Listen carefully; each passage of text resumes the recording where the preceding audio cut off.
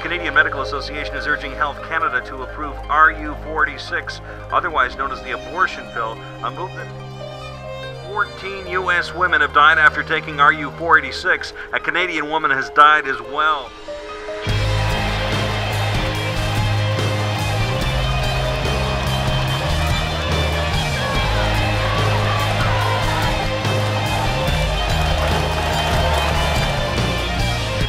Long as I'm Prime Minister, we are not reopening uh, the abortion debate.